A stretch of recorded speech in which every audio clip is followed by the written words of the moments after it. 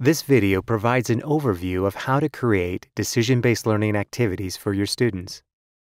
First, you'll be shown how to create a decision model.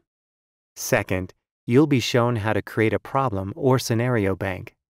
Third, how to create just enough, just-in-time instruction. Fourth, how to create an online or face-to-face DBL activity.